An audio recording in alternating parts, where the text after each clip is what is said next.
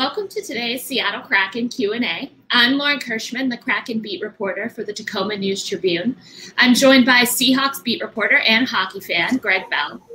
Uh, this is an exciting week for the NHL's newest expansion franchise. During Wednesday's expansion draft, the Kraken selected a player from every team in the league other than Las Vegas, and those players will form the foundation of Seattle's inaugural roster that will take the ice in October. The Kraken built a solid foundation mixed with veteran leadership and young talent. Uh, they left some bigger names on the table, passing on Montreal goalie Carey Price, for example, in order to save cap space. Uh, and they've already made a few moves since then. And, and right now, the Kraken have $30.7 million of cap space available to make a splash when free, free agency opens on July 28th. But before that, the Kraken will make their choices in the entry draft tonight and tomorrow to build up for what's coming in the future. So, needless to say, there's a lot to talk about, and you've been sending in questions about the expansion draft, and you can send in more now. Um, so we can talk about the expansion draft, the entry draft, the upcoming season, whatever else you want to know about the Kraken. Uh, so let's get started. Well, Lauren, it's finally here, right? It's been years in the making, and they first got granted a team by the NHL that wanted to tap into Seattle's rich corporate market. Then it was the arena issue and where they were going to build it. And they finally settled on already city owned land in Seattle Center, redoing Key Arena and making a climate pledge arena. And now it feels finally real. They have players. They actually have a uniform. They have a jersey that they unveiled Wednesday at the expansion draft that players were wearing. So now it finally, for fans, they something they can wrap around. I mean, they, they now have a, a franchise goaltender that they picked the other night and Driedger from Florida. They have Mark Giordano, a 37 year old captain from the Calgary Flames for 15 years. It can be a centerpiece to the locker room and an anchor. But you hit on it the fact that they have over $30 million still left to spend in free agency that begins in five days. That's the most money in the league to spend on. That's the key to what came out to me, the expansion draft. I know a lot of people wanted Carey Price and they wanted a bunch of other big names and big salaries, but there's a reason why those players were available in the expansion draft. Teams are dumping salaries and older players who have injuries in hopes that perhaps a team like that's Seattle will take those contracts off their hands. So Seattle was smart in that they didn't just build for this year in the expansion draft. They built for five years from now with players who are 15 games and fewer in their NHL experience who cost less and they came in just above the minimum that they had to pay for the expansion draft. There's NHL rules on how much you can't just stock your team with kids. So they, they had to get the Giordanos and the Driedgers to get above a threshold that the NHL set for salary cap, but they left themselves with the most money in the league to go out and buy if they want to, on top of having the second overall pick in tonight's regular draft. So I know a lot of fans were a little frustrated, or more than a little, that they didn't get Carey Price coming off the Stanley Cup run like Vegas got Marc Andre Fleury a couple years ago from Pittsburgh in its expansion draft. But we'll talk about how this expansion draft was different than Vegas was set up for success in its first year four years ago. Uh, there's a lot to talk about here because, as you said, they are just starting, and, and uh, the, the, the slate is completely blank, which is really unusual in professional sports.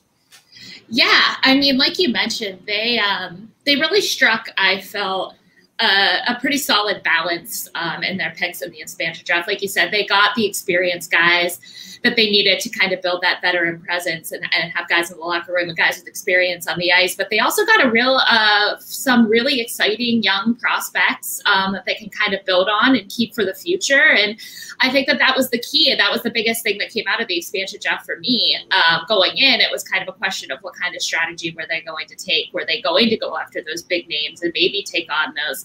Higher salaries and not have as much money to spend in free agency. And they decided that they didn't want to go that direction. Um, they still got some bigger names, they still got some veteran guys. Uh, but they also have a nice young group that they'll be able to build on and maybe have a solid team here um, in the future. Uh, I think Vegas went a little bit differently. Um, like you mentioned, they got a lot of those um, bigger names uh, and kind of star quality in their first draft. And then they obviously went to the Stanley Cup final in their first season.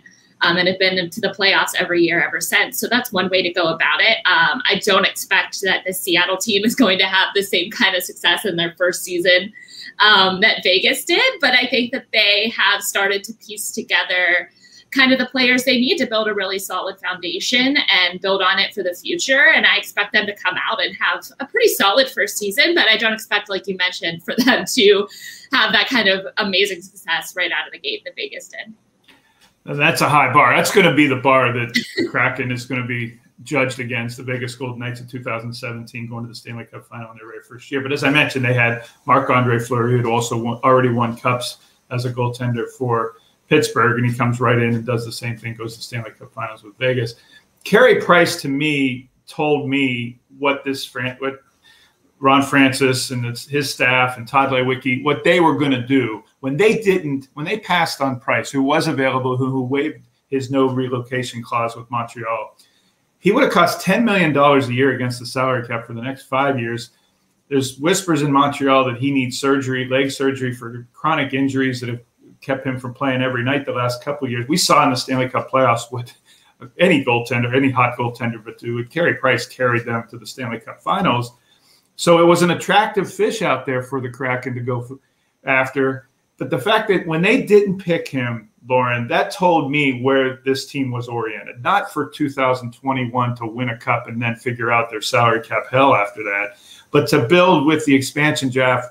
As they don't have a farm system, for instance. I mean, every team in the league, the other 30 team, 31 teams, they have a farm system, right?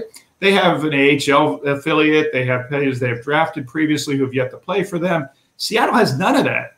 And so they needed to draft and thinking that way as well. And those are names that fans don't hear and don't know. So when they don't get Carey Price and they get two or three prospects, five or six prospects at the cost of Carey Price for one year, fans get a little turned off about the fact, well, they did get Carey Price.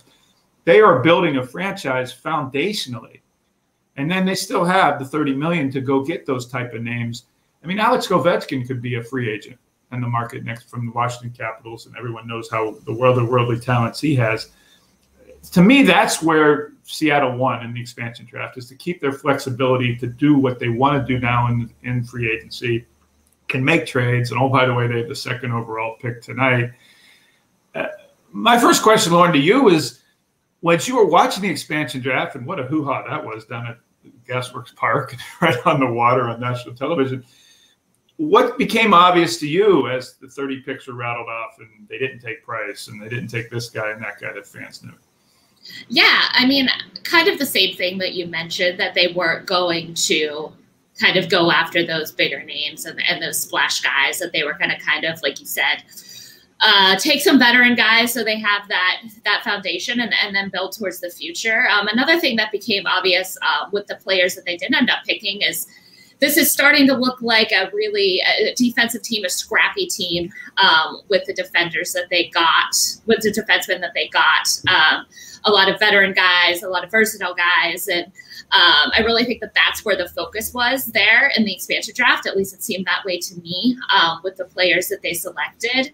Um, and then, like you said, they're going to have an opportunity to make a big splash in free agency. And I think that there's some names out there that um, might be the names that people were looking for um, out of the expansion draft. Um, those bigger names, those splash names that people are going to recognize, like they aren't done yet. Um, they've just started. Uh, and they have so much money to play with. Um, so the the roster you're looking at now, the names you're looking at now, yeah, those guys, a lot of those guys will be here. Some of them won't. Um, and there's going to be more people that are that are coming in that are going to, I think, get this fan base a little bit more excited. So I think the most important thing to remember is that there's a lot to still happen, um, and this isn't even close to really being done yet. We got a question from the Olympian Facebook account. He wants to know, she she wants to know what players from Sweden would be a good pick. Patrick Forsberg, I don't think is available what a good grinder pick. He says Daniel Torgersson, good size, good hands, would be a good foot in the third line, energy type of player, which you mentioned they've already gotten and those type of players out of the expansion draft. Alexander Holtz is a right wing. He says a good power skater. Simon Edvinsson from Sweden. Uh, yeah. He, said, he, says he's got a Detroit influence. The question. but Zetterberg, um, it's going to be hard to find a Zetterberg in the draft tonight. Second overall pick. Pretty much the entire draft pool is available to Seattle. Lauren, where do you think they are going to go either position wise or player wise at number two tonight in the first round and then the Yeah. suc- succeeding rounds on Saturday? Yeah, um, starting with the guys from Sweden, uh, Simon Edvinsson, like he mentioned, or she, uh, is one um, that I think the Kraken have their eyes on. Um, he's ranked second among European skaters and um, just a 6'4, 198 pounds defenseman. Um, I really think that he could be a star eventually coming out of Sweden. So I think that that's a guy definitely to keep an eye on. And then another one uh, from Sweden is William Eklund. Um, he's one of the top available forwards in the draft, and he's considered the top European skater by NHL Central Scouting Services. Um, and he was the Rookie of the Year in the SHL last season. So I think those two guys out of Sweden are two to keep an eye on, um, potentially tonight with the second pick. Um, but I think uh, the guy I think they're going to go with is a center out of Michigan, um, Matthew Beniers. Um, he's been the guy that's been most commonly projected to go to the Kraken with the number two pick, uh, six foot two, 175 pound center. Um, and I, I just really think that that's the guy they're going to go with. There's a there's a few guys, three guys from Michigan who are probably going to be among the top ten, um, and I think that that's the direction the Kraken are going to go. Uh, but there are those uh, those two guys from Sweden that I mentioned that I think uh, could be intriguing, and the Kraken could definitely go that direction. That'll make the uh, Olympian Facebook questioner happy. He says he has a Detroit influence. You, you interesting. You say center. That is a criticism of the after the 30 picks that the Kraken made. That they're really light at center and at forwards in general. You mentioned the back line they built with. They have a couple goaltenders led by Driedger, but centers don't just fall off trees in the NHL. They're hard to come by. There are also a lot of them are protected the other night. A lot of teams weren't giving up their top middle scorer and expand the expansion draft. Sidney Crosby was not available in the expansion draft. No. So it, it, it would make sense that you would now see this weekend they build the front and they build at center, young, cheap, well, drafting out of college perhaps. Um, that's that's a pick that would make sense. Uh, just positionally, I expect them to go center, score, forward types here next on the, the second overall pick tonight again on Saturday. Lauren, uh, so far dealing with the Kraken, a new job for you, and new job for everybody, as a matter of fact. What have what have you noticed about how they're run, uh, how they're led? Tod Leiweke's a big name in this town in this region. Used to be the CEO of the Seattle Seahawks. I've known him for 20 years. And Ron Francis, Victor Bonus came down from Vancouver to be the second in charge behind Tod Leiweke, The David Bonderman and the ownership group. Uh, what have you noticed about how they're run? the coach they chose in the direction they seem to be setting? Yeah, I mean, like you mentioned, uh, new job for me. Um, I covered uh, the Huskies for about three years, um, so heading in a new direction. Uh, I do have some history covering a little bit of the NHL. Um, back in Pittsburgh, I covered the Penguins on and off, um, so I do have some some little bit of background uh, in the NHL. But uh, you know, I think the thing that stands out to me the most about the Kraken and the way that they're taking shape and the way that is just the way that they've really engage the community.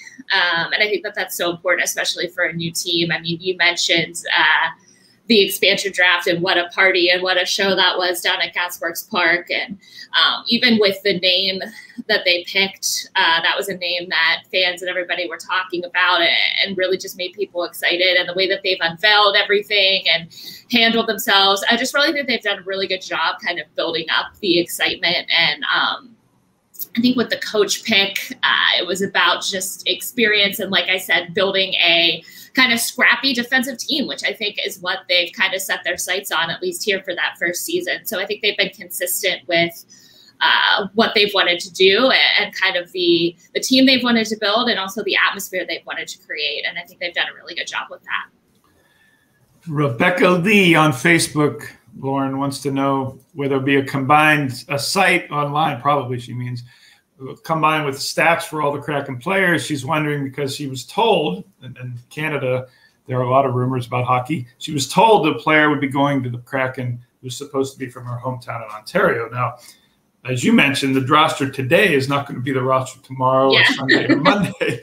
So, Rebecca Lee, I wouldn't get too attached to whatever this, the the Kraken have up there, but they'll have their own website and stats on that. Yeah, yeah, like uh, like you said, um, all of that will be available um, on the Kraken's website. But I wouldn't get uh, too attached to pretty much anybody right now, so uh, um, I would wait to see uh, what that roster is going to look like um, in the future. Photo, photos Posanoa of Olympic the Olympian Facebook again, Lauren.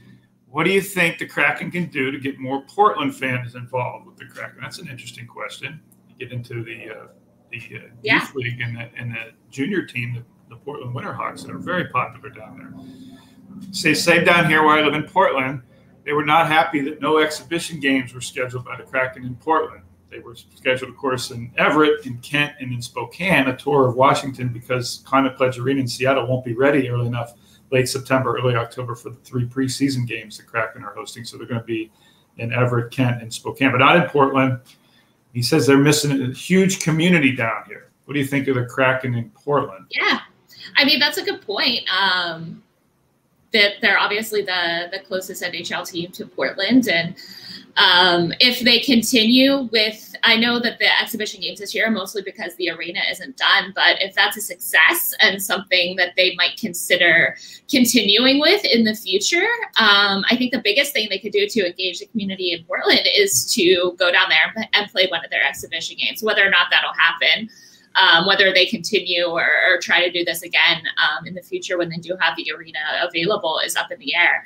Um, but I think that that's an option, and um, just trying to, you know, get players down there, maybe uh, engage with that community. I think that that's a good idea. Um, especially there's no other team really around, and if you want to build build a bigger uh, kind of extended fan base engaging that community uh, would be important. So I think that if they do continue with these kind of on the road exhibition games, um, that could be something that they could do.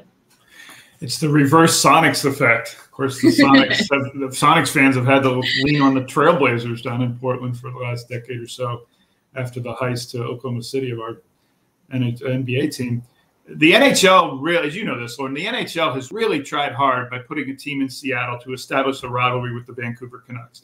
Vancouver has been somewhat isolated in the Pacific Northwest. The Canadians like to call it the Canadian Southwest. Uh, they are natural rivals with Calgary and Edmonton from being in the same division for years and years.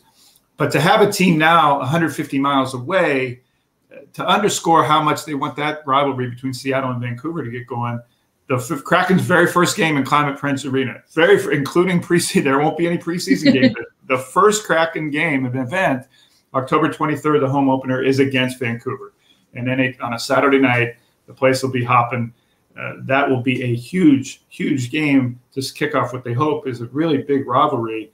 Uh, the question was about Portland, but the the intent of having a team in Seattle geographically is to have a in the same division a backyard rival with the Vancouver Canucks. Yeah, absolutely, and that's something that I uh, wrote about leading up um, to the season. Is that that's going to be the most natural rivalry for the Kraken, and I expect it to be a big rivalry. So uh, the NHL knew what they were doing, scheduling that game um, as the home opener. Uh, it should be packed. It should be a lot of fun. Um, so that's going to be definitely a back and forth to watch for, and that is October 23rd uh, will be the home opener. And I see we have a question when the season starts. The Kraken will play their first game on the road um, against uh, Vegas on October 12th. Um, and I think that was another really good choice uh, to have them open up the entire season um, against Vegas, which of course was the most recent expansion team um, before Seattle. So I think as far as openers go, those are about the two most intriguing games you could have asked for to be on the road at Vegas and then come home um, against the Canucks. Um, I think that that was ideal scheduling for the Kraken to kind of build even more excitement about what's going on here. Uh, so I think that that will be a really fun start to the season for fans for sure. That's that's a five game road trip for Seattle to begin its franchise, and that's probably a hedge, obviously, against Climate Pledge Arena being done on time. So they put the Kraken on the road for the first five games. Again, the home opener is October 23rd at home against Vancouver, and then they'll play Vancouver and everybody else in their division often, multiple times. I think it's six, eight times. If you have, for those that's new to the NHL, if you've never been to Vancouver for an NHL game, it is like a Seahawk game, but 40 nights a week. It, 40 nights a year, I should say. It is a festival. it is uh, always sold out. Uh, the town downtown area around the BC place now it's Rogers Place. It basically shuts down. Uh, it is quite an event. I was fortunate enough to cover the 2010 Winter Olympics in the hockey tournament throughout, from the beginning to gold medal match with Sidney Crosby golden goal inside that arena. And I, I've been around a little bit at sporting events. I've never seen a community in a country go bonkers as they did after Vancouver, the gold medal match in Canada beating the U.S. there. It is it is quite a scene, and I think that rivalry with Seattle and Vancouver is going to be really special, not just in Seattle, but if anyone gets a chance to go up to Vancouver to follow the Kraken to play up there. Yeah. Tonight, Lauren, second overall pick, as I mentioned. Then they have the remaining rounds of the regular draft tomorrow. And then the rest of the NHL's eyes will be on free agency that starts, as you mentioned, July 28th. 30 plus million dollars, the most in the league, as we mentioned. What do you see them doing? Who do you see it spent them spending on next week? Yeah, it's going to be interesting. There's a lot of names out there, um, guys that they could potentially go after that maybe uh, other teams don't have the money to go after. And I think one of the biggest names out there um, that everybody's going to have their eyes on is uh, Colorado Avalanche center Gabriel Landeskog. Um, and I think that that's a guy the Kraken are going to try for, definitely. Um, try to get away from Colorado so they so Colorado doesn't re-sign him. Um, like you mentioned, uh, one of the criticisms of Seattle's expansion draft was that they were kind of light on center, didn't have a guy there, and I think that this could be the guy. Um, and they definitely have the money that they would need to make this happen. Uh, whether or not they can make it happen um, is up in the air, but that would be a huge, huge get for them, um, and I think would kind of turn people's views around of the expansion draft if they were able to get him. Um, another guy I'll be watching for um, is a defenseman, um, Dougie Hamilton from the Carolina Hurricanes. Um, I think that he is also an option, but um, I think center is going to be a focus for them in free agency. Um, so I think that that would be a huge get. Landeskog is going to cost money, as you mentioned. The Denver Post said that he rejected a seven-year, $49 million contract from Colorado to re-sign with the Avalanche he was the second overall pick in 2011. What's attractive to him? He's only 28 years old. Yeah. That's a center you can still build.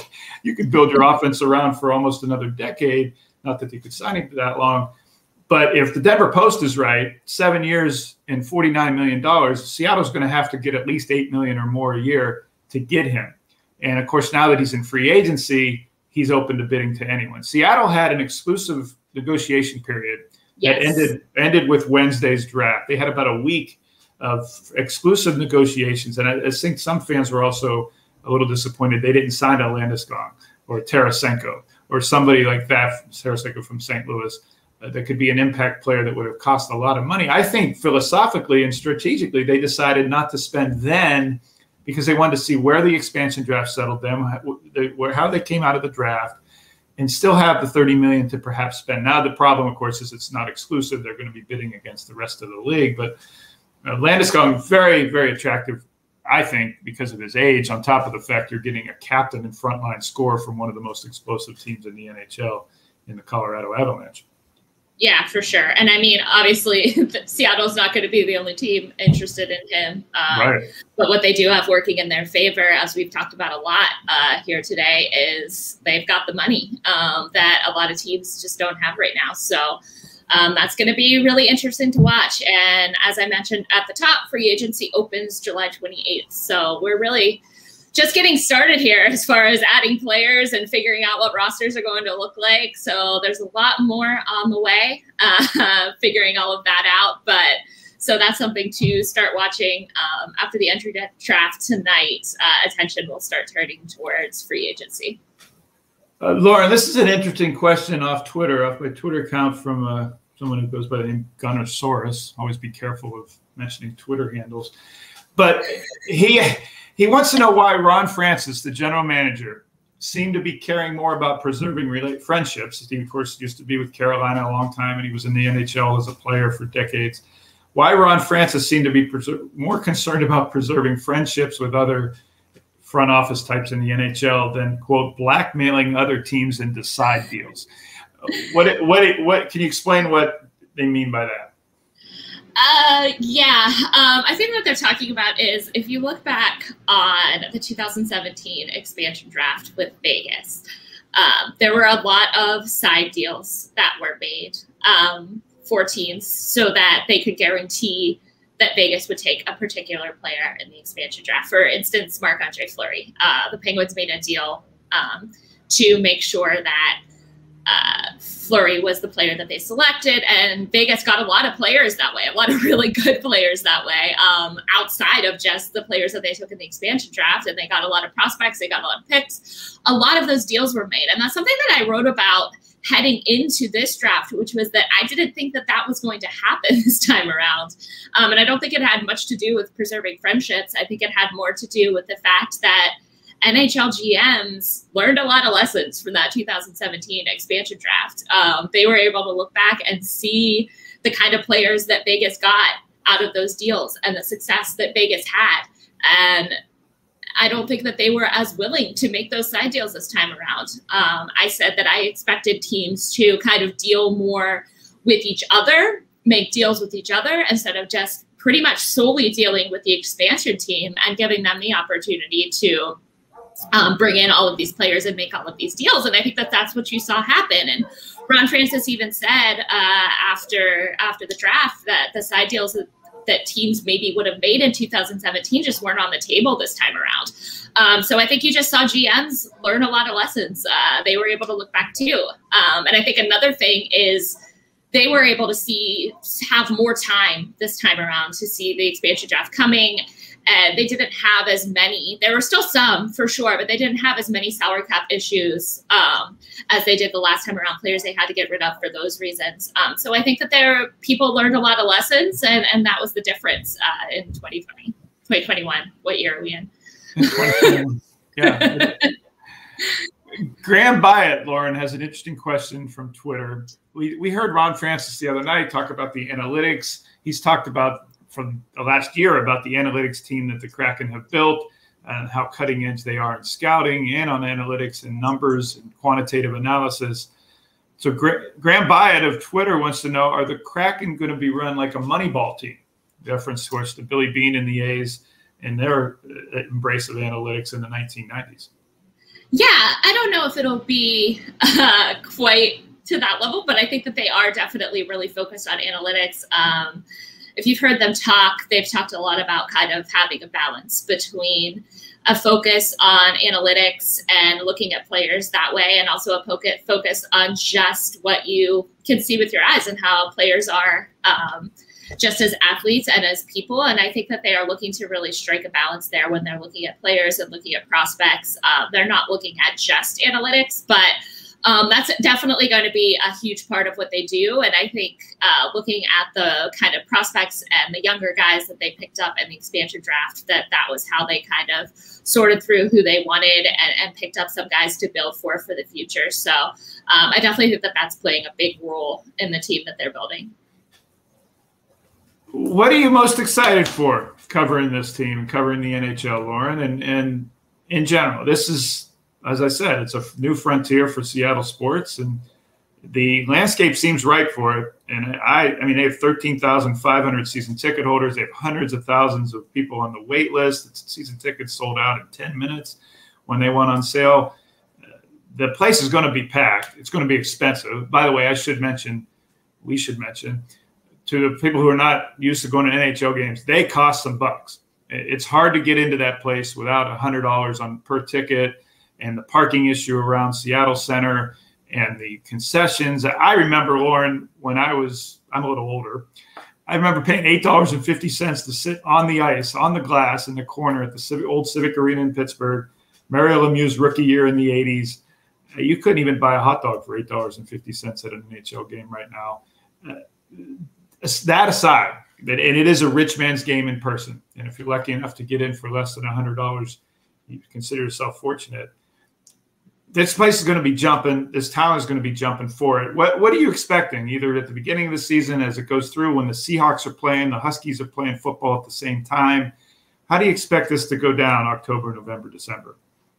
Yeah, I think it's going to be really a lot of fun. You know, I've never um, been a part of a first season for a team uh, uh, covering an expansion franchise. Uh, it's really exciting just to be here for seeing all of the pieces come together, see the arena come together, seeing the roster come together, the coaches, um, seeing the excitement from fans, and I, I just think I, it's it makes me happy that they're going to be able to start the season and actually have fans um, in the arena and have it packed and really being able to enjoy the launch of this. Um, I think that that's going to be probably the most fun part is just the excitement that's going to be um, in the arena and surrounding this team and uh, especially with all the build up as you mentioned at the top that there's been to creating this. Um, i just think that there's a lot of people who are hockey fans and are really excited because of that. And then there's people who maybe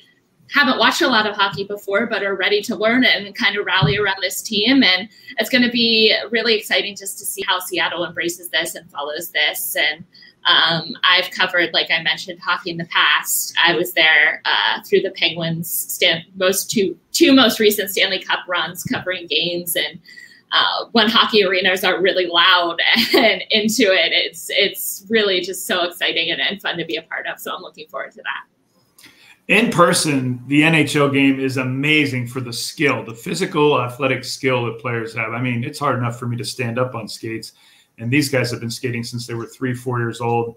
A lot of them Canadian, but to see the things they do athletically, jumping over sticks and hitting each other while still staying on their skates, and how fast they skate and their hand-eye coordination of getting the puck and shooting sometimes. It's an amazing spectacle in person uh, again, if you're fortunate enough to get into a game, it's an amazing experience. It's much, much different than on television. For one thing, you can see the puck when you're in an arena.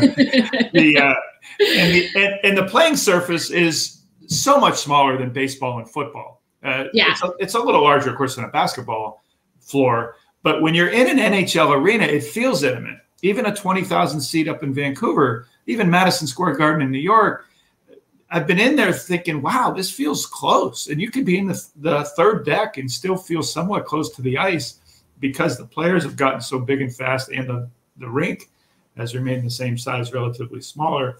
One other thing to consider about all this that I think people should in the Pacific Northwest should understand. This isn't just an NHL team that's coming in. There is, they are building, they're almost done with right up the street from where Lauren and I, uh, we live in North Seattle, and couple miles up the road at Northgate Center, they've turned the mall into what will be three sheets of ice for the Kraken Training Center, an $80 million complex that they built on private funds, part of the team deal. And they're going to open that up on game nights to fans to have watch parties of Kraken games on television and at the facility, a bar, restaurant. But when they're not practicing, the Kraken are going to open those three sheets of ice for youth and adult rec leagues and you're going to get what you have now in Seattle for AAU basketball and and club baseball. That you will get that in about five or ten years. The seeds will have been planted. Will will start growing the roots of a grassroots youth league organization. There are pockets of it here in Seattle and in the Northwest, uh, from the Everett and the Kent teams. And, but there, it's going to explode. The kid, the eight and ten year old kids that are going to want to play hockey after watching the Kraken on television will now have three international quality rinks of sheets of ice, which I think is about three times more than they currently have inside Seattle City District. So that is, an, I think, an overlooked aspect to all of this. And yes, the team itself is the fanfare in the arena, and but the the grassroots there is going to be an entire community that doesn't exist today starting three, four years from now of hockey families and hockey fans and kids and Saturday mornings games up at Northgate. And it's it's really going to be a phenomenon that I'm excited to watch and, and see. Yeah, for sure. I mean, like I mentioned that the, when we were talking about my observations of this team, is just the organization isn't just focused on building it, building their team. They they've really focused on exciting the fan base and kind of growing youth hockey in the area and bringing not just uh, the Seattle Kraken as a team, but hockey uh, to the Pacific Northwest and making sure that it's a sport that can really take root and grow here. Um, so I think it's really great that they've made that a focus and they're going to open things up. And, and I really do think, yeah, like you mentioned, that it's definitely going to grow the sport um, in the area for sure. Um, all right, uh, that'll do it for today's Kraken Q&A. Um, thank you for everyone who watched, who sent in a question. Um, if we didn't get to yours or you think of another one, uh, you can find me on Twitter at Lauren Kirschman, and all my Kraken coverage is available at thenewstribune.com. Um, you can head there for live coverage of the entry draft tonight and tomorrow, and everything else you need to know about the run up to Seattle's inaugural season. Thanks, everyone.